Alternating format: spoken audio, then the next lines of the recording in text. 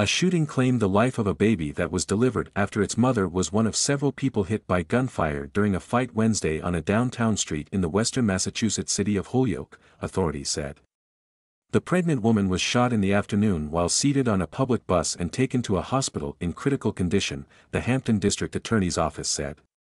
The infant, who was delivered and needed life-saving medical services, tragically passed away, the office added.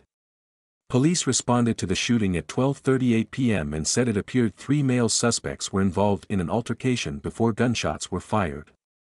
All involved suspects were believed to have been identified, taken to hospitals and are in custody, according to the district attorney's office. No further information was immediately given on their conditions. The names of the woman shot and of the people involved in the shooting haven't been released.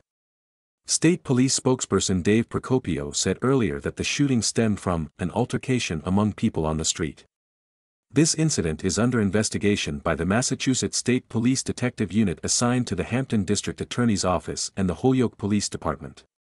Police said they received a 911 call about the shooting near the intersection of Sargent and Maple Streets, as well as notifications from ShotSpotter.